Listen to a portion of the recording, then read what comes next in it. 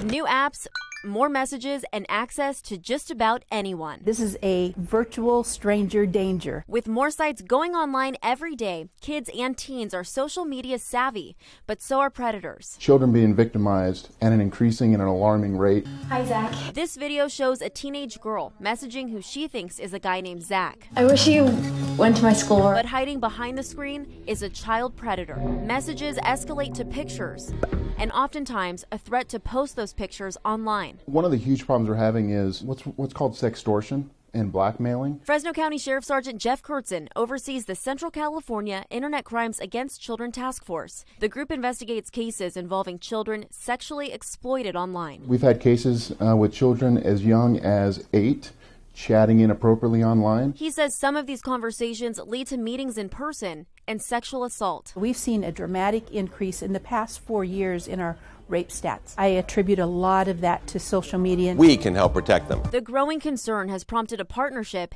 and another message. It's 7 o'clock. Do you know what your child is doing online? With the Fresno County Sheriff's Office, EECU, and Fresno Unified, CBS 47 will provide resources to help protect your children. You need to monitor what they're doing on there. Not just ask them, but physically go on and monitor. With messaging now available on nearly every app, Sergeant Kurtzen says it's imperative to check them all and to speak with your kids about the dangers online. Alex Back is CBS 47 Eyewitness News.